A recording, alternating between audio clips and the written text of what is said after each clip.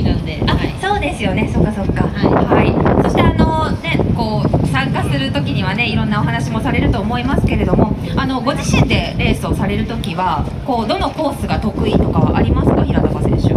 は3ですね。3コース。3と 6, 6、はい。あ、そうなんですね、はい。結構真ん中と外ですけど、ね。どういうところがご自身ではいいなと